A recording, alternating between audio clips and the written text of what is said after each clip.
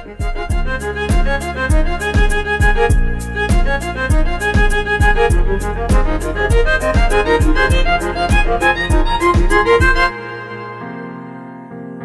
futbolchilari haqida ma'lumotlar taqdim etamiz. Navbatdagi qahramonimiz Neftchi darvozaboni O'tkir Yusupov.